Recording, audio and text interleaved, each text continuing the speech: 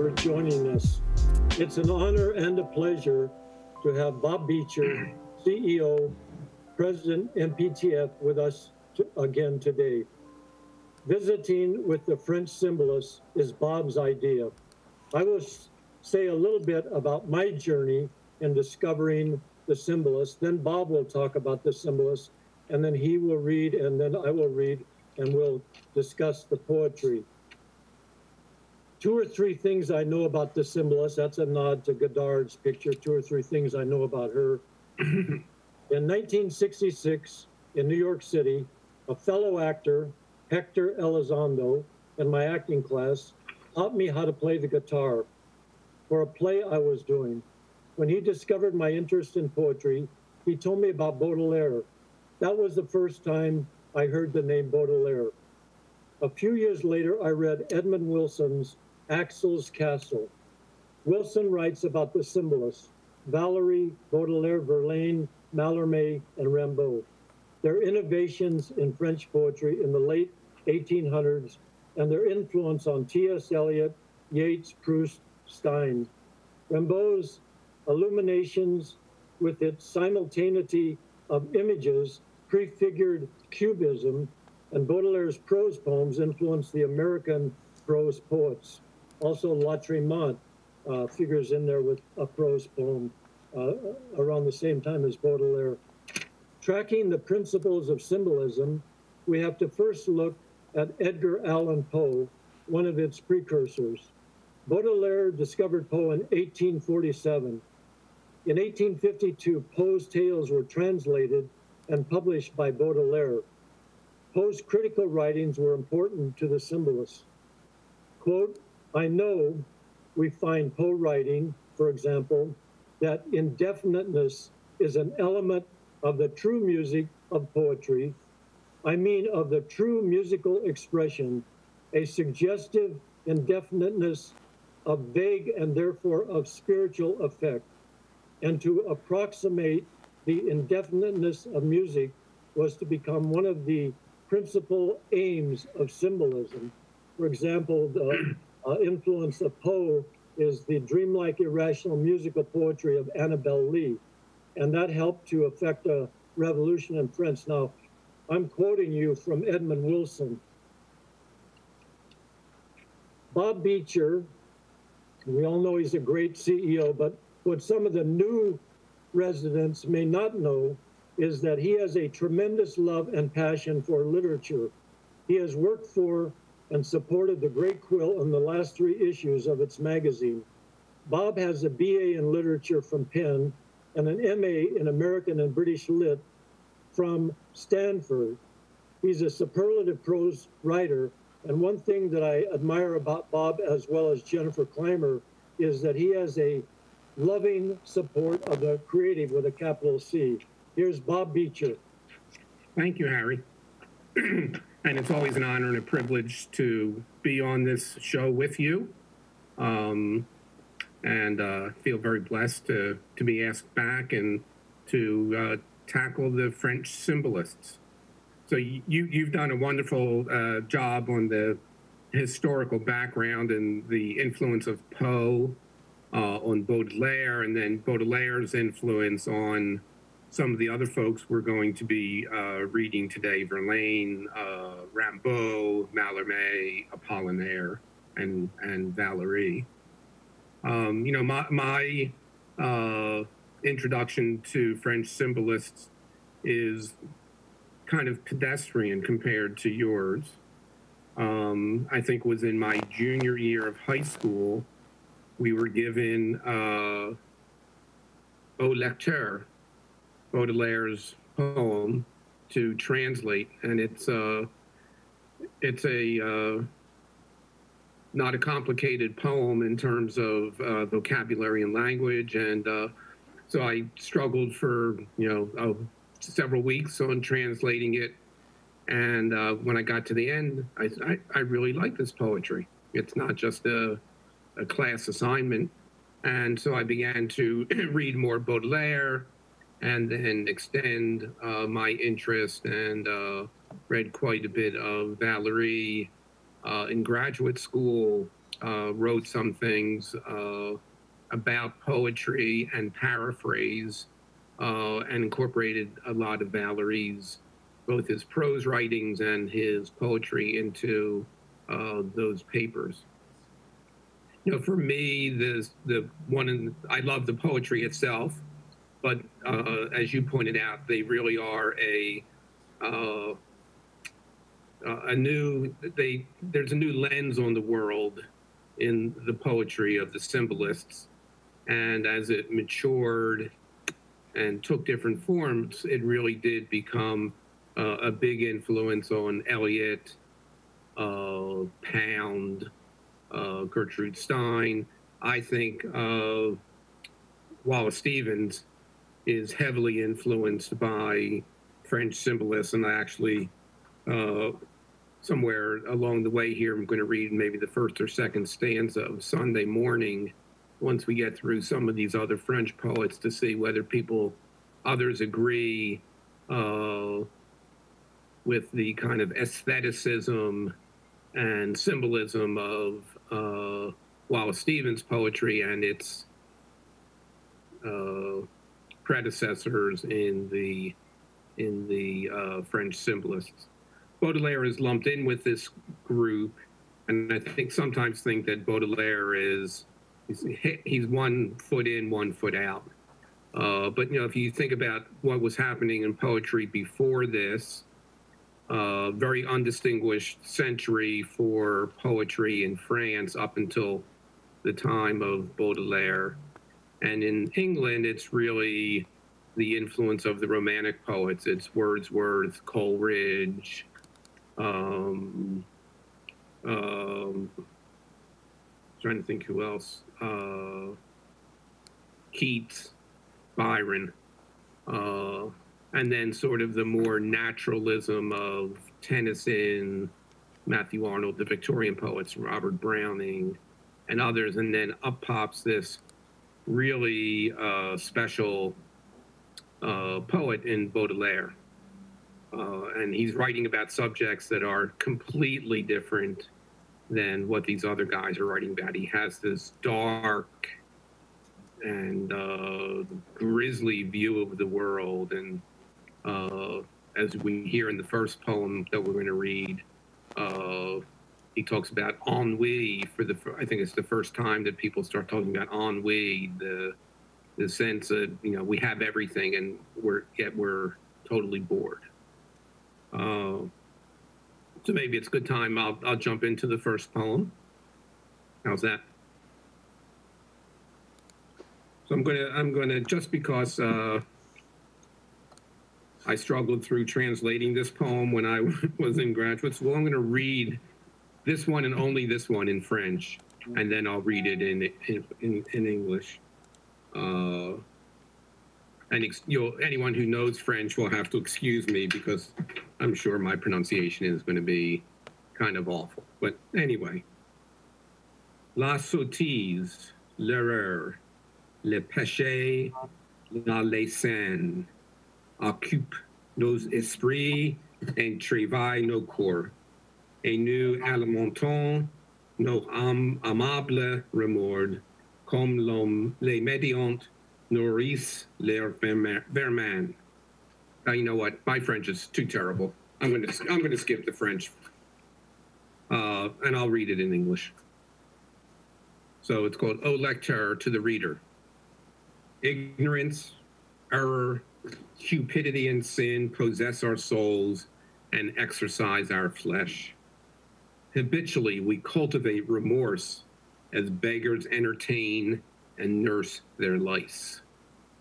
Our sins are stubborn. Cowards when contrite, we overpay confession with our pains. And when we're back again in human mire, vile tears, we think, will wash away our stains. Thrice potent Satan is our cursed bed, lulls us to sleep, our spirit overkissed, until the precious metal of our will is vaporized that cunning alchemist. Who but the devil pulls our waking strings? Abominations lure us to their side. Each day we take another step to hell. descending, des- descending through the stench, unhorrified. Like an exhausted rake who mouths and chews the martyrized breast of an old withered whore, we steal, in passing, whatever joys we can, squeezing the driest orange all the more. Packed in our brains as incestuous as worms, our demons celebrate in drunken gangs. And when we breathe, that hollow rasp is death, sliding invisibly down into our lungs. If the dull canvas of our wretched life is unembellished with such pretty wear as knives or poison, pyromania, rape, it is because our souls too weak to dare. But in this den of jackals, monkeys, curs, scorpions, buzzards, snakes, this paradise of filthy beasts that screech, howl, grovel, grunt, in this menagerie of mankind's vice, there's one supremely hideous and impure, soft spoken, not the type to cause a scene. He'd willingly make rubble of the earth and swallow up creation in a yawn. I mean, ennui, who in his hookah dreams produces hangmen and real tears together. How well you know this fastidious monster, reader, hypocrite reader, you, my double, my brother. That was, well, you know, you know, uh, that was wonderful, Bob. You know what I noticed, uh, which is obvious, those last two stanzas, he gets into what you talked about in the beginning, ennui, Right. boredom, and all that. And also, the you know, the one thing I noticed about uh, Baudelaire and the others, they're not afraid to write about anything human. I mean, their visions are very often dark, and they deal with Satan or, you know, the nature of evil. But um, you know, they, you know, and it is a rebellion, obviously, against the more classical neo neoclassical French writers. And as you pointed out, they uh, they didn't have Shakespeare and Keats and all that, where all the mixture of all the Right. similes with the, the use of senses and et cetera, the similes. And so the, this really is a, a revolution. Yeah. Yep.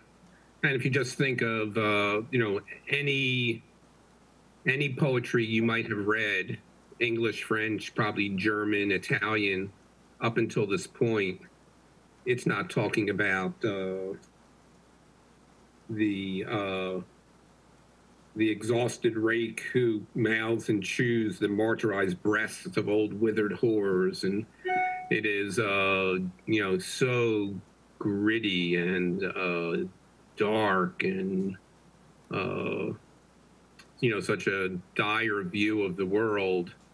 Uh, and in the end, the poem says, you know, take all of that, all of these horrible things that I've just described to you, and put them aside because that's not the worst of it. The worst of it is boredom. It's you know the unengaged mind, the the the person who feels that there's nothing, no sensation, no nothing that they can do, uh, you know, that will excite them anymore. Sometimes it breaks up the sound. I don't know if you can hear me, but sometimes Yeah. my sound, Okay. all of a sudden I miss a sentence or two. But, uh, you know, you're absolutely right. And, you know, one thing about me, you know, I hear people say sometimes, oh, I'm bored and this or that. I never use the word boredom. I mean, if I don't want to watch, if I'm watching something I don't like it, I'll turn it off. Right. Well, if I'm not if I'm not doing something I enjoy doing, I won't do it. You know, Yeah. but people, you know, they walk around with that sense of boredom. But uh, you know, I never understand that. Uh, and the other thing, uh, which I was, uh, oh gosh, I was going to say something about the uh, the uh, oh god, something about the the uh, the symbolism, the symbolist, uh, well, symbolism itself. You know, oh, here's what here's what I was thinking. They also, as uh, as you and I both know, and others, they retired from society. You know, they they refused to engage in society. You know, whether they were teachers or you know, some of them almost one of them almost lunatic, and then they, uh, you know, it's the opposite here. I mean, we cannot, at least I cannot, and you certainly cannot, uh, you know, afford to not uh, engage in society. I mean, if you're an actor, you always have to be going out there. If you're a writer, you can go into a cave. But these people retired. They found literature, the imagination as a refuge. Yeah. And so that's all part of the, the Yeah. symbolism too. Yeah, absolutely. But you think of this this theme of ennui, it carries on into the you know beginning of the 20th century. I you know I always think of uh, the movie Cabaret. You know, it's all about people who are just so bored that they're seeking sensation after sensation because that's the only thing that can uh, resonate with them. Also, what I wondered about, you know, when at that, that last uh, stanza where he talks about, you know, actually implying that any action you do is better than ennui. And Right. that seems to be like a precursor of existentialism. hmm So even if you do something negative, it's a positive act, you know, like in The Right. Stranger, uh, an act of feeling Right. opposed to just a sense of indifference. Yeah. And, you know, that we've always, remember Bobby Kennedy used to talk about that indifference being the worst sin where you're on the fence as opposed to making a move. But Right. uh, thank you. That was an excellent opening. Do you want me to do another Baudelaire, Harry, or do you want to? Yeah, absolutely. Why don't you do that and then, uh, you know, do one or two, whatever you'd like a Baudelaire. Okay, I'm going to read the next one. I'm going to read is called L'Albatros or the Albatross. Oft times for diversion, seafaring men capture albatross, those vast birds of the sea that accompany at languorous pace boats plying through their bitter straits. Having scarce been taken aboard, these kings of the blue, awkward and shy, Piteously, their great white wings let droop like oars at their sides. This winged voyager, how clumsy he is and weak. He, just now so lovely, how comic and ugly. One with a stubby pipe teases his beak. Another mimics, limping, the cripple who could fly. The poet resembles this prince of the clouds, who laughs at hunters and haunts the storms, Exiled to the ground amid the jeering pack, his giant wings will not let him walk.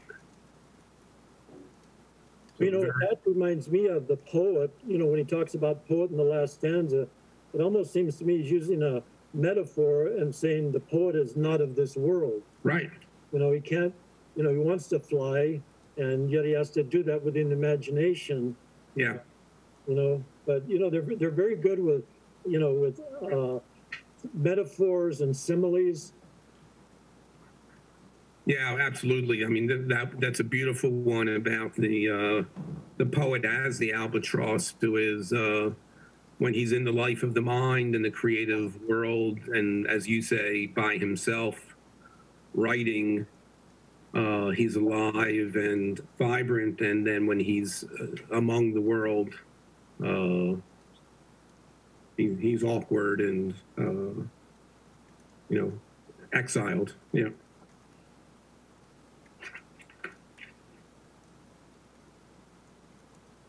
Well, let's see.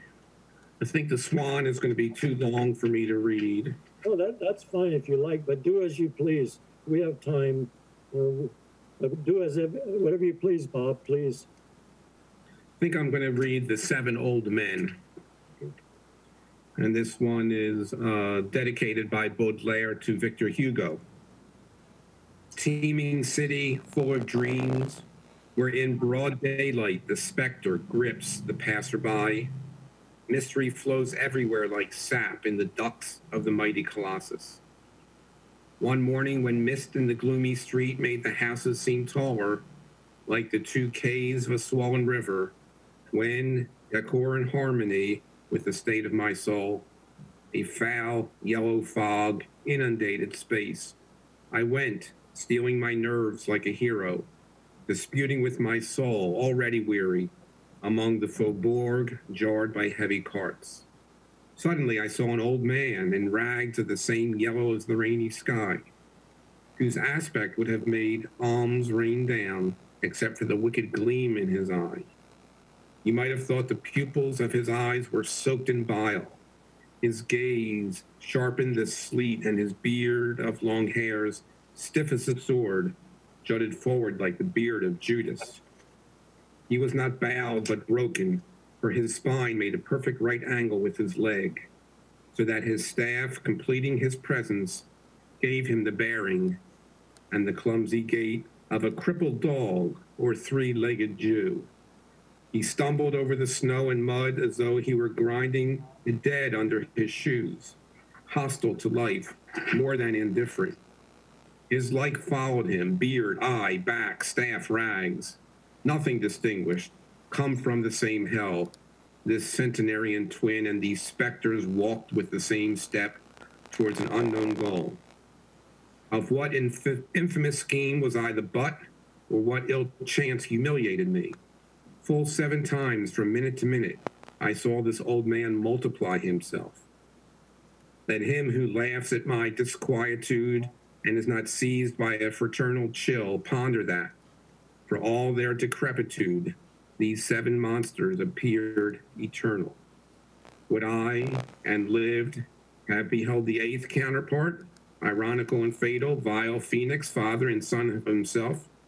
I turned back on the procession. Enraged as a drunk man who sees double, I went inside and closed my door, frightened, sick, and chilled, my mind feverish and turbid, offended by the senseless mystery. In vain my reason tried to take the helm. The tempest rollicking led it astray, and my soul danced, danced like an old lighter without masts on a monstrous, shoreless sea. Yeah, that's great. And, uh, you know, the one thing about Baudelaire, you know, his depiction of, you know, this uh, hideous figure.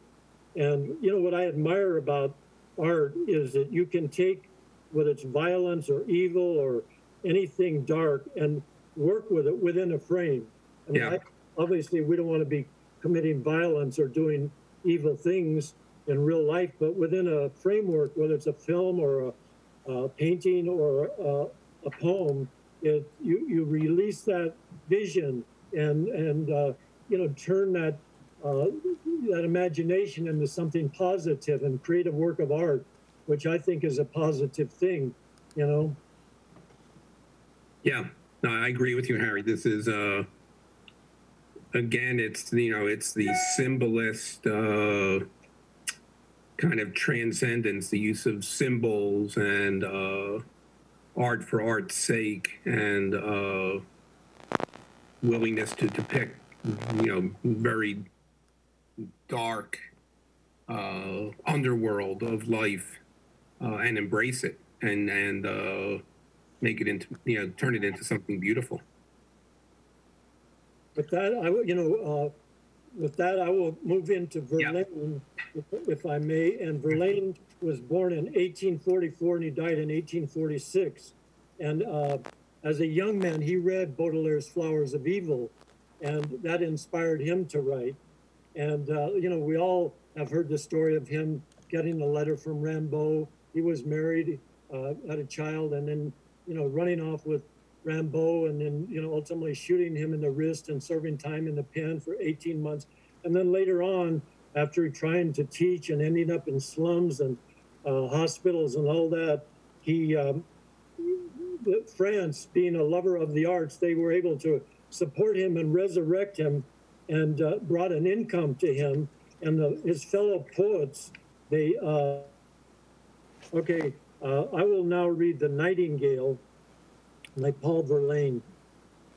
Like a clamorous flock of startled birds, all my memories swoop upon me, swoop among the yellow foliage of my heart, watching its bent alder trunk in the purple foil of the waters of regret that flow nearby in melancholy wise.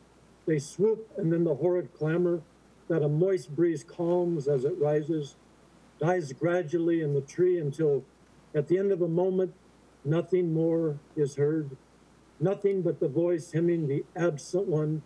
Nothing but the voice, the languishing voice of the bird that was my earliest love, singing still as on that earliest day, and in the sad magnificence of a moon that rises with pale solemnity, a summer night, heavy and melancholy, full of silence and obscurity, lulls in the sky that a soft wind caresses, the quivering tree and the weeping bird. And really that, you know, that poem to me is lyrical and it's also elegiac. Uh, and, and at the end, we see how mournful it is. You know, Bob, you know, since you know French, uh, obviously I don't, but uh, it seems to me that there's probably more uh, assonance and rhyming and Yes. things shorter, uh, shorter lines than there would be in English. Is that correct? Yes, Harry, and uh, you know these uh, these poems because we're reading them in translation uh, are very different than they are in the original French. This is in in the French, it's a rhyming poem. It's A A B B C C, you know, uh, D D, and so on. Uh, and they're very tightly constructed. This is not uh, kind of free, uh, unstructured verse. It's very it's it's for all their wildness in uh, subject matter and uh, all of that stuff, it's it's very formalized poetry. Well, the French have always been, you know, going back to Racine, they've Right. always been very strict. I remember Racine one time writing criticism of Shakespeare, saying he was too sprawling. Yes, yeah, You know, they're Phaedra, you know, his Phaedra, you know, that was uh, their their ideal. But uh, right. yeah, I like Verlaine. Yeah, this is uh, this is such a wonderful poem uh, because it, it it kind of takes us on a journey, uh, you know, of this uh, uh, of these memories that are swooping on him, and uh, then it just spills out from there. Can you hear? Okay, Harry? No. Okay. I can. I'm back now. Yeah, you're back. You're back now. Okay, so I, I'm going to uh, now read a Verlaine poem, "Apathy." I seem to be the ennui and apathy uh, king for today. I am the empire at the end of its decadence, watching the tall, fair barbarians pass. Meanwhile, I compose idle acrostics in a golden style where the sun's languors dance. Intense boredom sickens a soul alone. Over there, I hear, along bloody battle ranges, feeble with too slow desire, there is no power, there is no will to make this existence flower. There is no will, no power even to die a little. Ah, all is drunk, Bathyllus. Do you laugh still? Ah, all is drunk, all eaten, no more to tell. Nothing but a stupid poem to throw on the fire. Nothing but a faithless slave to neglect you. Nothing but a nameless boredom to afflict you. Yeah, that's right. Yes, I mean, it's uh, intense boredom sickens the soul alone. I mean, that's kind of at the core of so much of what they write. It's that it is the soul alone, divorced from the world, uh, you know, writing writing poetry, and during a period where apparently uh, apathy and languor, as they call it in uh, French, and ennui are kind of pervasive.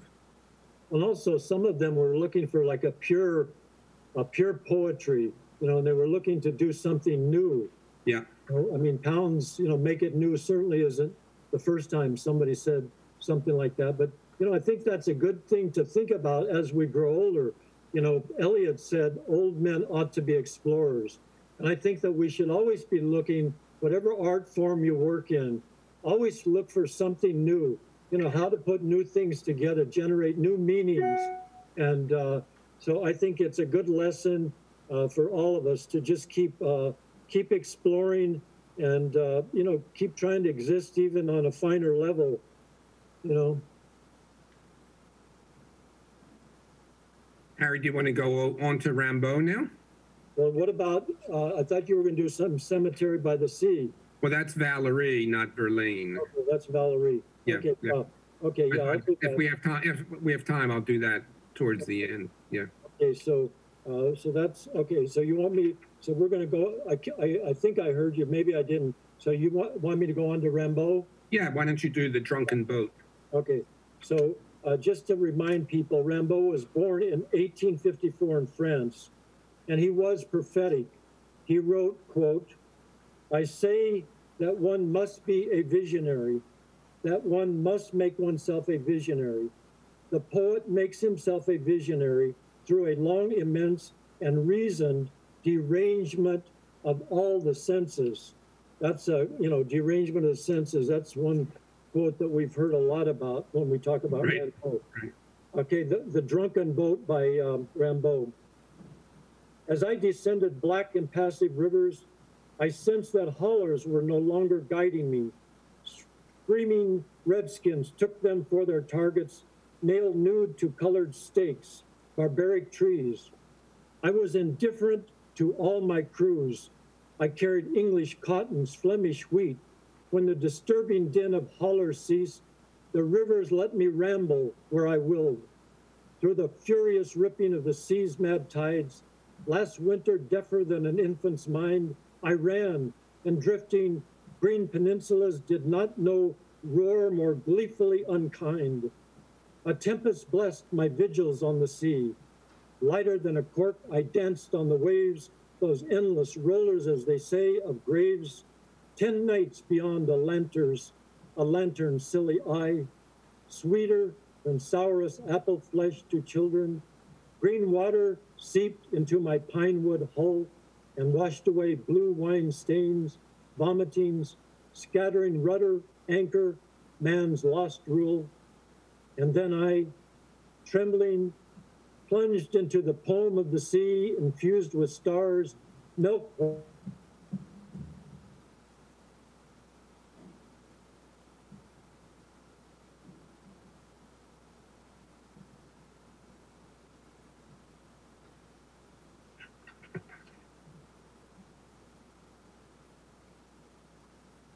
Bitter reds of love ferment the way.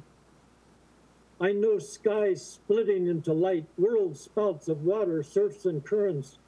I know the night, the dawn exalted like a flock of doves, pure winged, and I have seen what men imagine they have seen. I saw the low sun stained with mystic horrors, lighting long, curdled clouds of violet like actors in a very ancient play, waves rolling distant thrills like lattice light. I dreamed of green night, stirred by dazzling snows of kisses rising to the sea's eyes, slowly, the sap like coursing of surprising currents and singing phosphors, flaring blue and gold. I followed for whole months a surge like herds of insane cattle in assault on the reefs, unhopeful that three Marys come on luminous feet could force a muzzle on the panting seas. Yes, I struck incredible Floridas that mingled flowers in the eyes of panthers and skins of men, and rainbows bridled green herds beneath the horizon of the seas. I saw the ferment of enormous marshes, weirs where a whole leviathan lies rotting in the weeds, collapse of waters within calms at sea, and distances in cataract toward chasms. Glaciers, silver suns, pearl waves, and skies like coals, hideous wrecks at the bottom of brown gulfs where giant serpents eaten by red bugs drop from twisted trees and shed a black perfume. I should have liked to show the young those dolphins and blue waves, those golden fish, those fish that sing. Foam like flowers rocked my sleepy drifting, and now and then fine winds supplied me wings. When, feeling like a martyr, I tired of poles and zones, the sea whose sobbing made my tossing sweet, raised me its dark flowers deep in yellow world, and like a woman I fell on my knees. Peninsula, I tossed upon my shores, the corals and droppings of clamorous blonde-eyed birds. I sailed until across my rotting forge, drowned men spinning backwards, fell asleep. Now I, a lost boat in the hair of coves, hurled by tempests into a birdless air, I, whose drunken carcass neither monitors nor Hansa ships would fish back for men's care. Free, smoking, rigged with violet fogs, I who pierce the red sky like a wall that carries exquisite mixtures for good poets, lichens of sun and azure mucus veils, who, spotted with electric crescents, ran like a mad plank escorted by seahorses, when cudgel blows of hot July struck down the sea blue skies upon wild water spouts.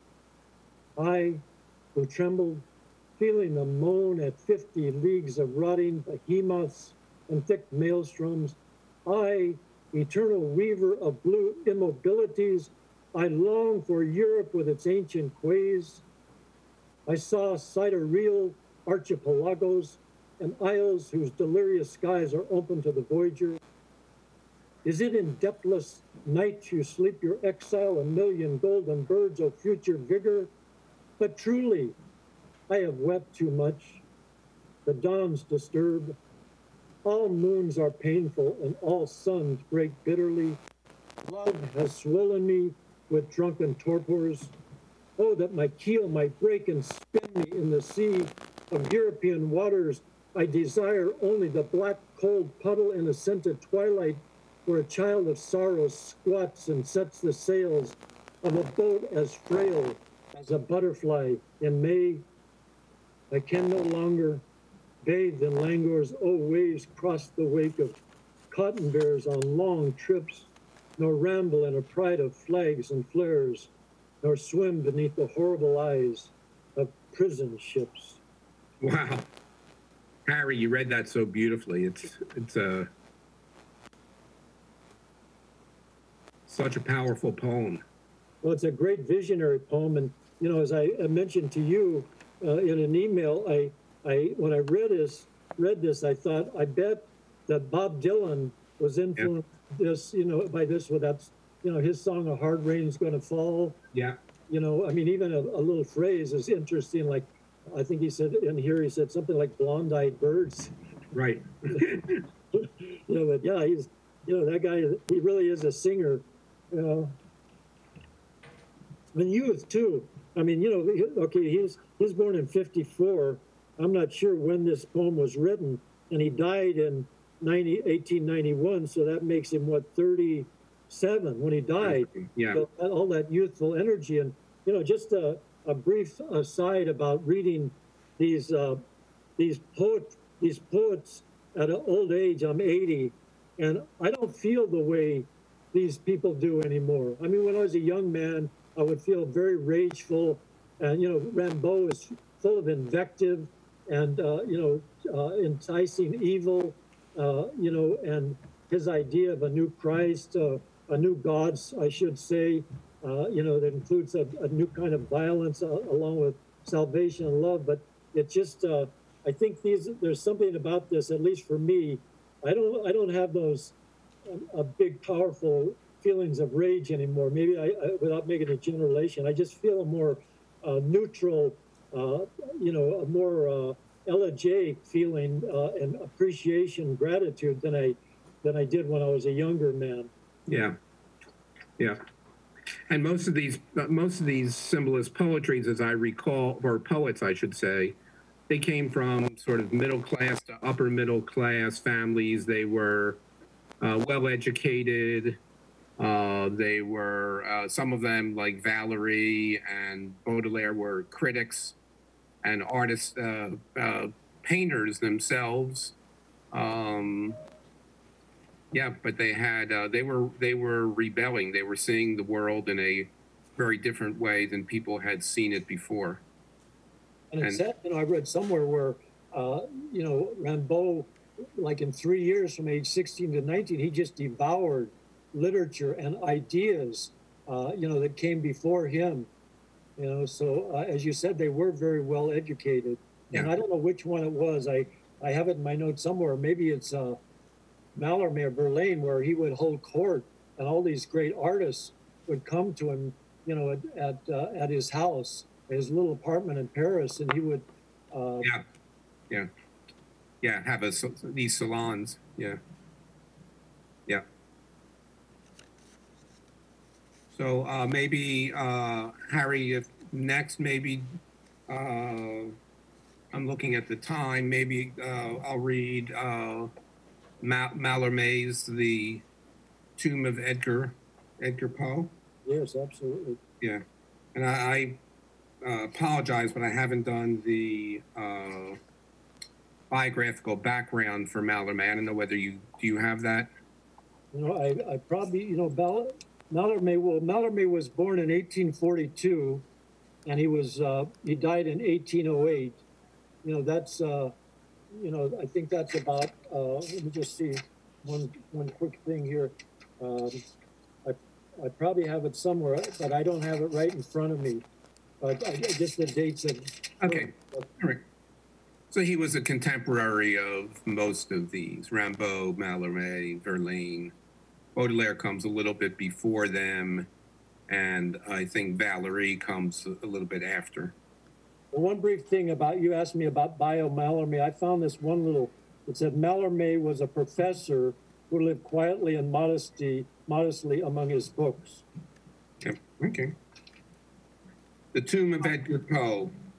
Even as eternity brings him at last to himself, the poet revives with a naked sword, his age aghast and having failed to be aware of a triumph over death in that strange voice.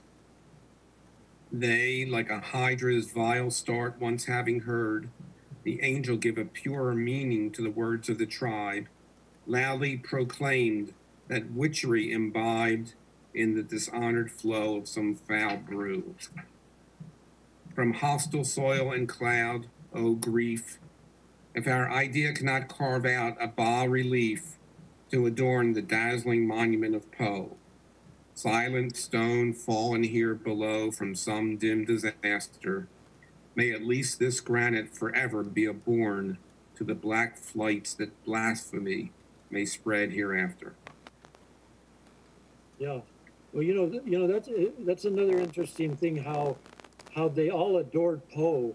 And, you know, in our, uh, country, there are, you know, we, we get Poe early. And, you know, the, Roger Corman, uh, you know, one time I was, I was doing a picture and Tom Hanks yells out at Roger Corman, who was also in the picture. He says, tell me, Mr. Corman, is the only reason you did the pit and the pendulum and the raven because you didn't have to pay for the property? you know, but uh, the uh, you know the fascination with Poe, the musicality of him, whereas uh, you know in the 20th century most poets they uh, they went more for the sense of things than the musicality of things. Yeah. I, I know the English, you know, we all love uh, Dylan Thomas. He was one who could really get into all the assonance and all that, but um, Poe was not quite, you know, younger, you, you know, the younger audience, you know, we pick Poe up early, but uh, it's interesting how they really adored him. Yes, yeah.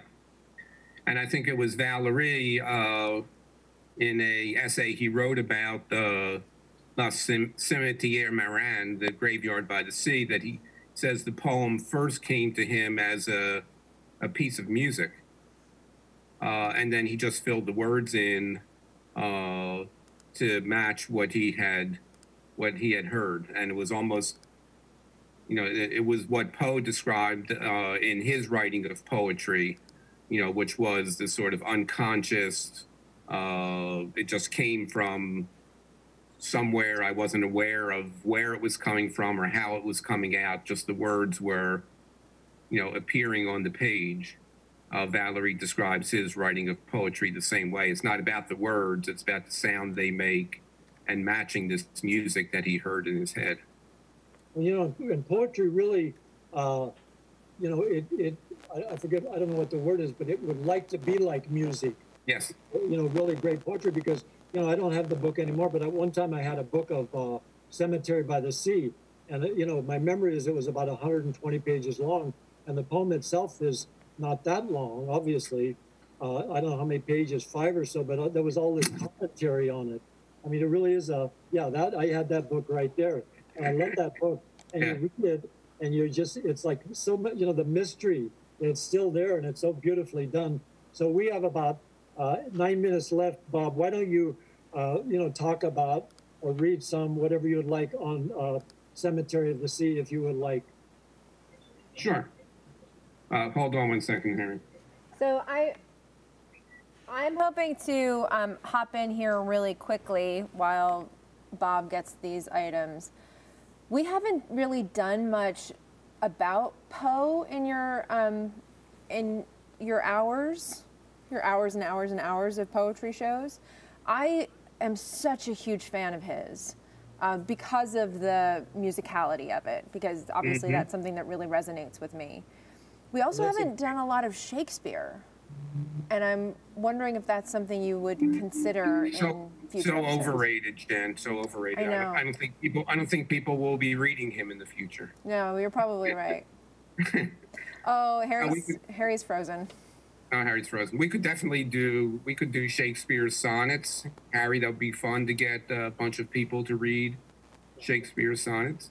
And, and, you know, we could also, we could also do, I, uh, we could also do, uh, Poe, uh, you know, I, you know, there are people here, uh, on residents who have talked to me about, uh, you know, I asked them about poetry, you know, some of them will talk about Poe, they'll talk about the Raven, or they'll Yeah. talk about a, a poem like the Highwayman. I mean, you know, a lot of people get poetry in grade school and then they don't really continue in poetry. You know, Bob has, uh, and, and I have, and others have, but it's a good idea. Both of your ideas are good. So uh, let's, I'll, I will write both of them down and they will both be great ideas to get Yeah. uh, uh, residents involved in Yeah. some of those poems. And that, you know, that's one of the purposes that I've been trying to do is, uh, you know, number one, when Jennifer asked me to do this, I, I, I, told her yes, because if Jennifer asked me to, you know, walk to, to the uh, Staples Center, I would do it for her. And also, uh, I, I wanted to present excellent poetry, and I wanted to get residents involved, and I wanted to get, uh, and even some of the residents who have read, I asked them, uh, you know, have you read poetry publicly before? And they said no. And I said, would you be open to trying, like Corinne, for example? And she's a marvelous reader. She so really you know is, that's yeah. part of the purpose too. And then the other purpose is to show the innovations, like Bob, Bob's idea today, the symbolist poets, to show the uh, the uh, the innovation. So, Bob, uh, you know, we have uh, uh, five minutes Yeah. left. What what would you like to do to close this show? Uh, I'll talk a little bit about the graveyard by the sea. I mean, it's a poem that's way too long for us to read. Uh, so I just might read a sta- uh, stanza or two, um, and I'm gonna I'm gonna uh, rely on this book, Harry. Our our our paths cross so many interesting ways, and this very probably very obscure book is one that I own and you once owned. Yeah. I love that book.